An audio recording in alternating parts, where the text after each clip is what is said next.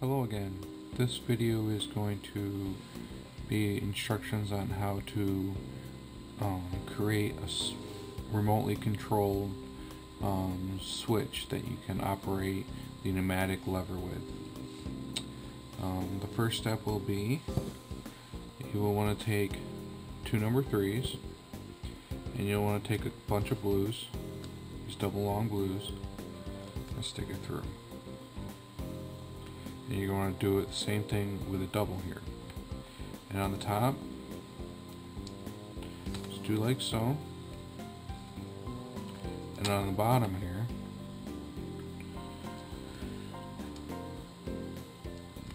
just like so. And roll that one up in and leave that one just like so. Now this part right here will go right here. On here I just have a few hoses connected into a pump right now.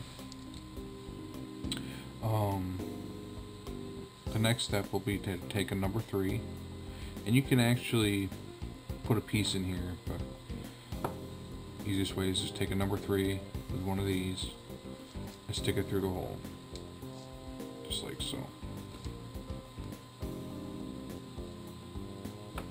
Okay. Now the next step here you want to take a bunch of these two little uh, blues with the um, cross pattern on the end and stick it in here. And what we want to do is go down your side of here and connect it. This is the easiest way I found to connect things. Just do that. Okay. And then you want to take one of these babies and go right in the bottom again right here.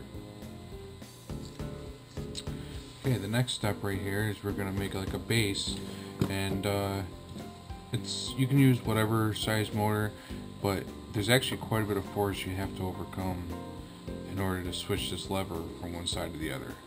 And uh, I just happen to have this uh, large motor right here that I will use, so just stick it on like so. You want to rotate that one up. Now you want to take one of these and you want to put two black ones three spaces, one black, one space, black, and then you have three spaces in the end. And what you want to do here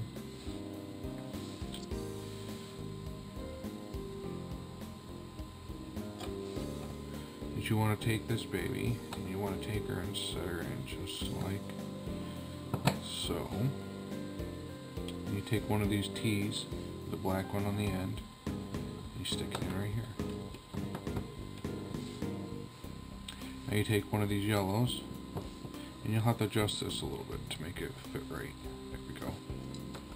You take one of these yellows, and then you stick this right here. So that's one side. Now the next side right here, what we want to do is the same thing. Stick the same one over here. Take another one of these. Take one of these. Boom. And you can modify the base however you want for whatever device you're trying to control. Now what's going to happen is this motor is going to switch it over. And I don't suggest doing this with right straight from the battery box because it is deadlocking the motor. So just use your judgment. It's your toy. So I'm just going to use an infrared sensor. That's what I like to use. Just because it's a quick thing on and off. I'm just going to take my controller and now from here, like say when you got the pressure coming from your pump, you can just run it through your line and then whichever way you go, turn the power on, whichever way you go, you can just flip whatever side you want it to be on. Okay, well thank you for watching and I hope this uh, adds a little more enjoyment to your uh, Lego creation.